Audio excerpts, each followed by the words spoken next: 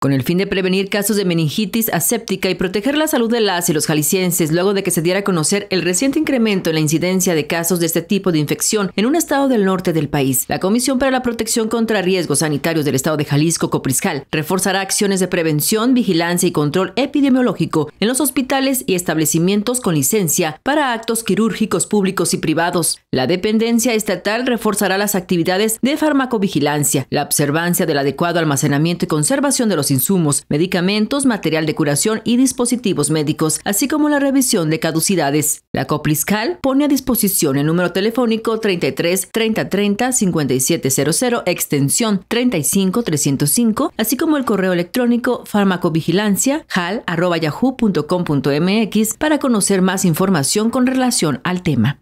María de Jesús Quesada, Jalisco TV Noticias.